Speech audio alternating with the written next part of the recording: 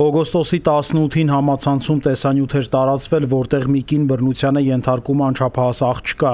Ներքին գործերի նախարարության ոստիկանության հասարակական անվտանգության ապահովման գլխավոր վարչության, անչափահասների հանցավորության եւ ընտանեկան բռնության կանխարգելման վարչության, Գավառի եւ կենտրոնական բաժինների ոստիկանների համատեղ ձեռնարկած միջոցառումների արդյունքում տեսանյութում պատկերված կինը Գավառի 34-ամյա բնակչուհին հայտնաբերվել է։ Ըստ նախնական տվյալների պարզվել է, որ դեպքը տեղի է ունեցել Գավառում եւ այն տեսանկարահանվել է։ Ձեռնարկվում են միջոցառումներ պարզելու դեպքի բոլոր հանգամանքները, այդ թվում կատարվածի դրդապ պատճառները։ Կնոջ բոլոր 5 երեխաները ոստիկանությունում եղել են ոստիկանության հասարակական անվտանգության ապահովման գլխավոր վարչության, անչափահասների հանցավորության եւ ընտանեկան բռնության կանխարգելման վարչության մասնագիտացված ծառայողների հոգացության ներքո։ Կազմված փաստաթղթերն ուղարկվել են նախաքննական մարմնին։ Ներքին գործերի նախարարությունը իր իրավասության սահմաններում համագործակցելով համապատասխան մարմինների հետ կիրականացնի հնարավոր բոլոր անհրաժեշտ գործողությունները երեխաների իրավունքները պաշտպանելու համար։ Հորդորում ենք բոլոր լրատվական կայքերին եւ օկտատերերին հեռացնել տեսանյութը։